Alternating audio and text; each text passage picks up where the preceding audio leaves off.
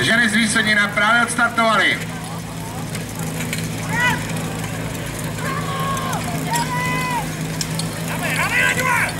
Slavice u sebe za 10.